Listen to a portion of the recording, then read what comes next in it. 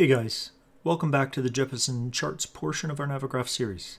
If you're new to the series, I suggest you start at 101, link in the description below. This video builds on information from prior videos, but can stand as a single video if you're interested in airport diagram charts from Jeppesen. I've also arranged this video and the whole series with chapters that you can skip ahead or back as you see fit. You can jump right to and revisit any portion easily. I'm also in no way affiliated with Navigraph or Microsoft, either as an employee or sponsor of either or any of the products that they offer. This is the first part of the fourth video in a series that will walk you through from a basic understanding of what Navigraph is to an explanation of charts, procedures and plates, and how to use them to fly an IFR plan or route. Please have a look in the description for a full list of all the videos in this series. In our previous video, we looked at the different types of terminal procedure charts that you will find in Navigraph and how to access them. In this video, we will have a look at the Jeppesen 10.9 airport diagrams specifically in more detail. Airport diagrams are designed to assist in the movement of ground traffic and provide airport specific advisories and assistance. Because we are looking at these charts in detail, there is a lot of information to digest. I have decided to split this video into two separate videos, 104A and 104B.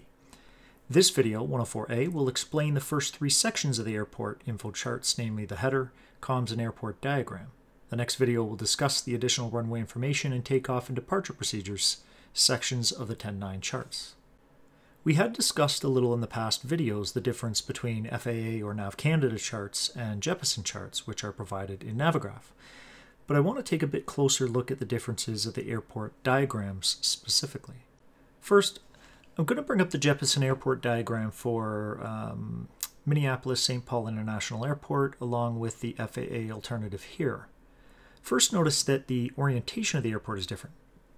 All FAA maps have the same orientation, but um, Jeppesen, however, will change the orientation to best fit the airport to give you a larger map.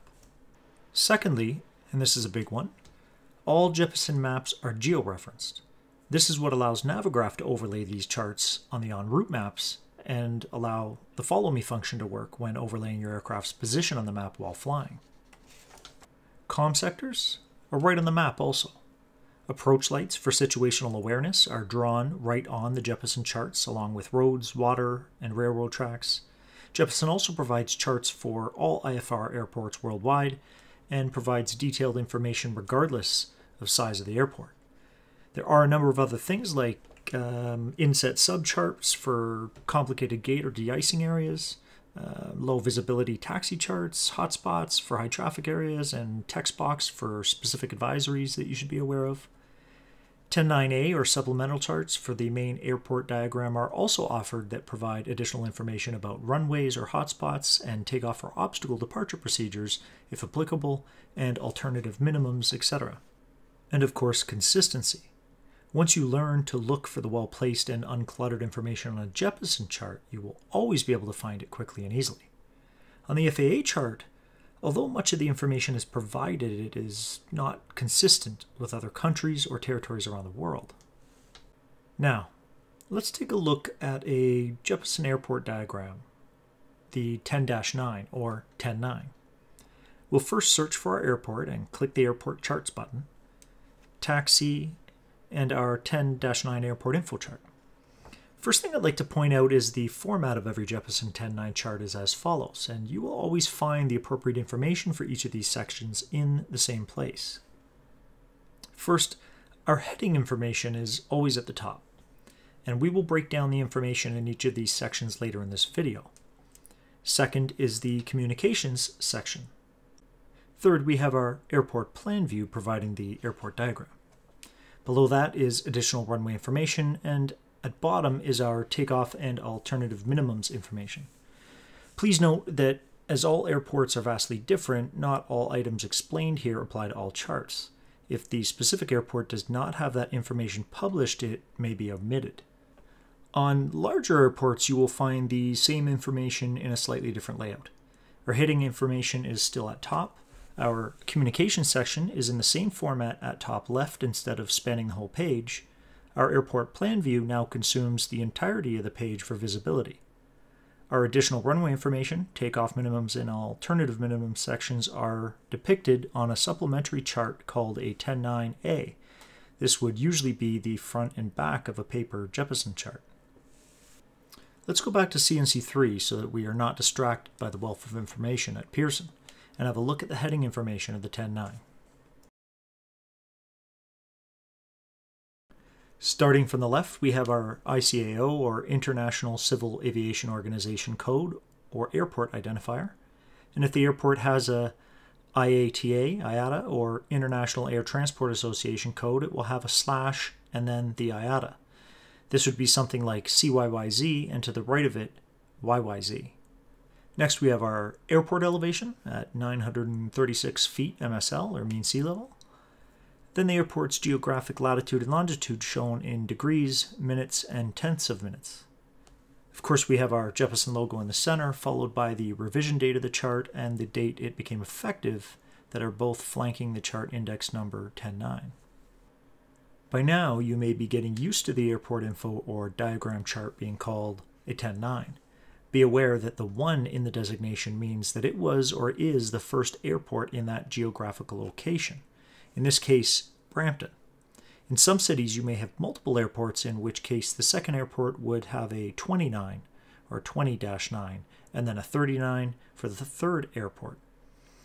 They are more uncommon, but London is a good example with five or more airports. So just keep in mind, although an airport may be the third airport in the city, the common expression to refer to these is still 10.9. Although technically incorrect for a 30 9, it essentially means the airport diagram chart.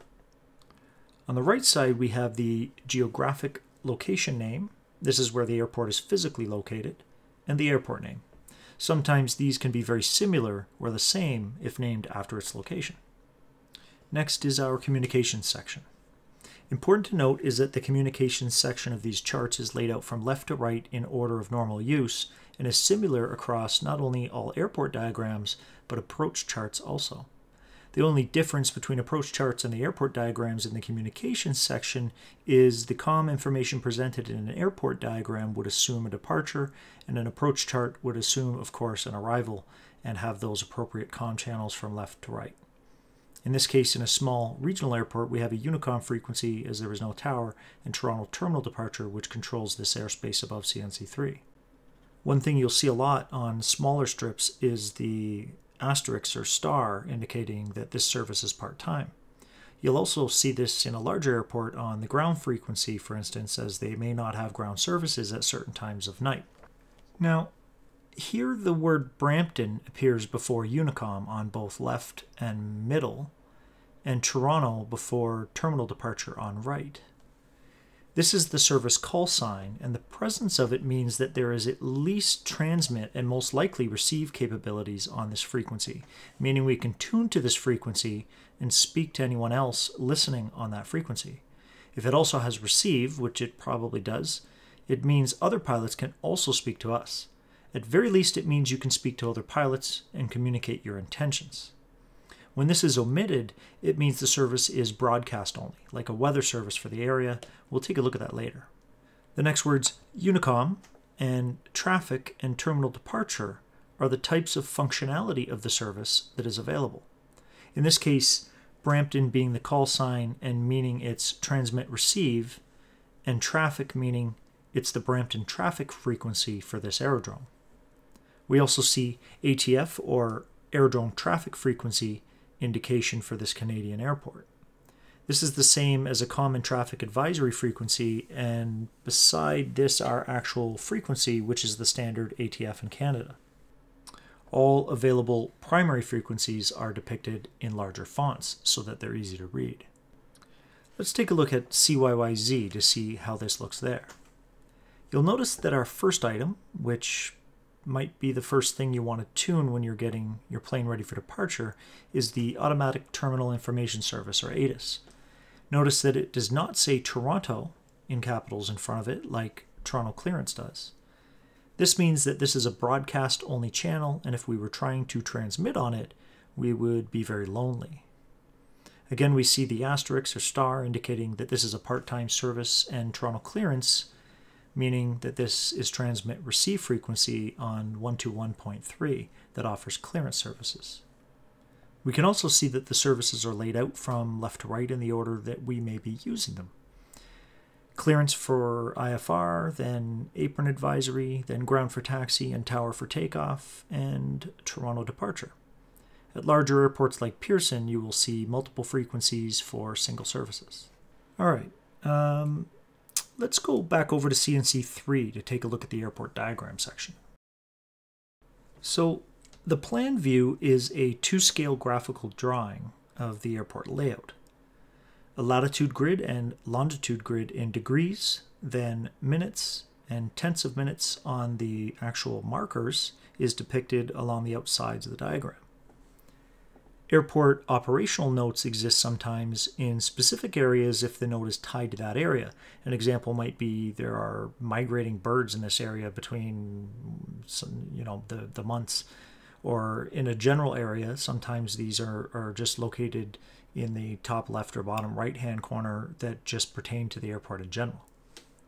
The airport's magnetic variation is depicted also numerically in this case, a 10 degree west variation, meaning that grid or true north is in this direction, while your compass showing magnetic north will be 10 degrees west. The runways hopefully are obvious here, and the large black strips which designate a paved runway. If this runway were unpaved, it would be white instead of black with a black outline or stroke. Runway headings depicted at the end of each are always magnetic head, uh, sorry magnetic headings unless followed by a T for true. Note the exact runway heading and runway number above it. Runway numbers are named for their approximate runway heading rounding down or up like runway 33 which is approximately 330 degrees magnetic or exactly 326 degrees magnetic. We know from the runway number that the heading is between 326 degrees and 335 degrees. The end of the runway's elevation is depicted when known. Here it is 936 feet MSL. All wind direction indicators are depicted with the little windsock symbol. Notice we have three at Brampton Airport. One of them is lighted as depicted with these little lines here which make it look like winds going through. Um, physical length of the runway in feet is largely depicted along each uh, 3,500 feet for runways 15 and 33 and 2,500 feet for runways 08 and 26. These sometimes have meter equivalents for international airports. They also don't include any stopways or overruns or anything like that. All taxiways and ramp areas are depicted in gray, along with known structures in black. These may include buildings uh, outside the airport, for instance, if within the range of the scale drawing here, if that makes sense. Uh, notice the taxiway identifiers like taxiway Bravo or Alpha, uh, smaller taxiways, Delta and Charlie, Golf, Alpha 2. In the center is the ARP or airport reference point, which is the latitude longitude location that is referred to in the heading of the chart.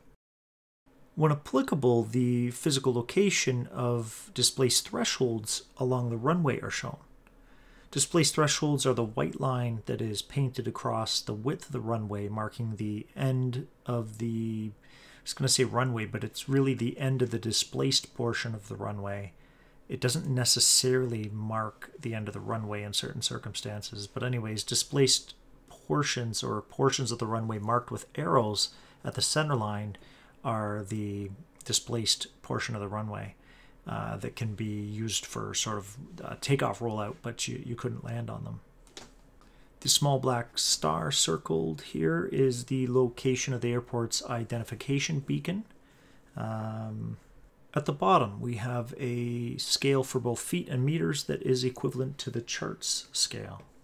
Uh, okay, let's uh, let's take a look at Pearson to see if we can find some more symbols and relate some of the information we've just learned to a larger international airport.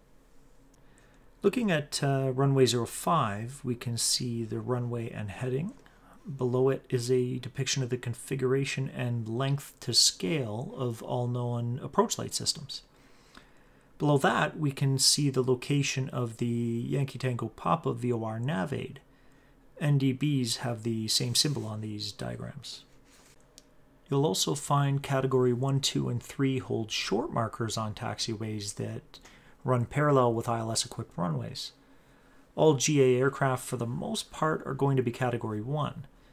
These categories define the progressively lower weather minimum categories, one being 200 feet above the ground with a half mile visibility, to Category 3 or uh, Category 3C, which is zero feet and zero visibility. I'm guessing the Cat 3C approaches take some getting used to. From what I understand, uh, I'm sure someone will correct me in the comment section below. These hold short areas are designed to prevent aircraft and their equipment or the physical aircraft from interfering with the ILS system while another aircraft, for instance, is approaching on that runway while you're holding short. We can also notice that there's a windsock at this location uh, just above Taxiway Hotel. You can see Taxiway Juliet 2, uh, Juliet that runs across 15 right and 15 left to runway 23. We can again see the displaced threshold for runway 23, and below it is HS3, which refers to a hotspot. If we look at the runway incursion hotspots text box, we can see that the information for HS3 or hotspot 3 can be found on the supplemental chart 109A. Taxiways on larger charts like this can be difficult to find sometimes. Notice Tango Taxiway running through the icing facility but changes to Alpha Lima. Taxiways with number designators are intersections of the parent taxiway. Therefore, if you're looking for Taxiway Hotel and see Hotel 2, just look where it intersects to find Hotel. Taxiways like Alpha Lima describe an alpha intersection that is going to the Lima ramp area.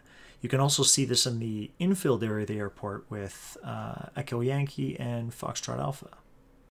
Uh, you'll find these sort of beam symbols also with their identifiers if applicable. These are known RVR transmissometers or other type of RVR equipment. RVR is an acronym for Runway Visual Range, and we will talk about this more during our video on approaches. These symbols are just the location of the RVR measuring system at the airport. And lastly, notice the black number designators that indicate more information could be found about this spot on the map on this chart. The first one indicates to pilots of aircraft with wingspans larger than 124 feet that there's a sharp turn here. Now, the next two sections that we saw at the bottom of the chart for CNC3 Brampton or other smaller regional fields are found in the first supplemental chart for that airport in airports this size anyways named 109A. Let's have a look. On these supplemental pages you will also have a similar layout to each of them. General information at the top left that relates to general operations at the airport that couldn't fit on the chart itself.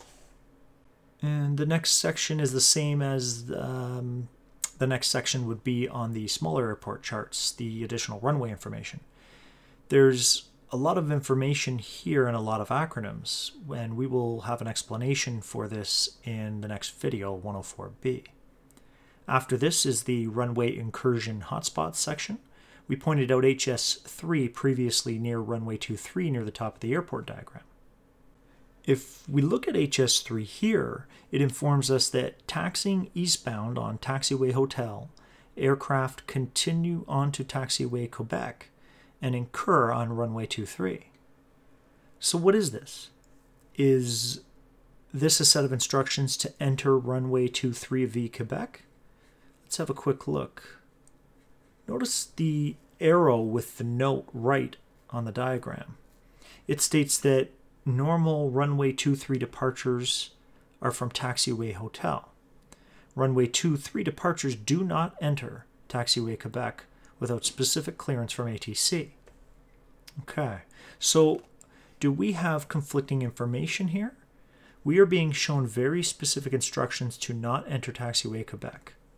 Let's have a look at our incursion hotspots again. What we have here is not instructions for us, but rather warnings to things that commonly happen at the airport that we should be cautious of. In this case of HS3, they're warning us that aircraft who are taxiing on hotel commonly continue on to Quebec and incur or enter the runway essentially without permission. And this is what the hotspots areas of the airport diagram are designed to do is give you information as a pilot that you should be aware of, uh, especially when the airport themselves and Jeppesen actually reaches out to each airport to get this information and publish it onto their charts so that pilots can look at them quickly and be aware, hey, um, I might want to be careful of this area of the airport when operating within it. Next is our takeoff and obstacle departure procedure information, which is the last section on our smaller airport chart at the bottom, and will usually start right after hotspots and continue to the next page as we see here, or just start on the next side of that page, or this page, sorry. Lastly, we have our alternative minimums, which we will discuss in the next video, 104b. A few more charts that are supplementary to our airport diagram and provided by Jeppesen are things like 10.9e or low visibility taxi charts for airports that have these procedures, apron procedures and parking gates and other detailed views and areas of the airport. Now, keep in mind you are unlikely to find or be provided these additional charts or information from FAA airport diagrams. This information is procured and provided by Jeppesen and is partly why their charts are of such value to airliners and pilots alike. Let's uh, take a look at a few more airports quickly that offer us some of the geographical features that are not depicted at either of the previous airports. Here, I wanted to show you the symbol for bluffs which are depicted with the gray arrows that are pointing in the direction of the lower elevation. In this case, the airport is lower than the bluffs, which are very close to the runway. And here we can see a few more geographic references. Roads are depicted in gray like taxiways, except thinner. These diagrams will also show you train tracks and rivers and lakes. And these are tree lines that are in the area. At KNTD, we find an unidentified man-made structure that has a peak height of 157 feet MSL. Note, if it had a little almost snowflake or like stars around the top of it, this means that this man-made structure is lighted. We also see a tower at 122 feet, and there are a number of different man-made structure symbols that all look like what they are trying to depict essentially with an altitude beside them. At KLGB we have a symbol unique to intersecting runways. LASO or LAHSO and a line which is for land hold short operations which would allow an aircraft to land at both runways, while this aircraft, landing 26R, would be required to hold short at this point after landing. Not every airport has LAHSO operations, so essentially they were designed to allow smaller airports who became busier to operate more efficiently. Um, it, it, there's quite a bit to these operations that the pilot have to understand, so it's not just a uh, something that ATC will direct you as a pilot, you need to understand how to operate within a land hold short operation environment. We also have a helicopter landing pad here. Notice the gray X's in three locations here. These indicate a permanently closed taxiway. On runway 30, we have an overrun and runway lights that extend to the displaced threshold and I haven't gone through everything, but uh, this one's, I was looking for an example, and at KCMA we have a permanently closed runway.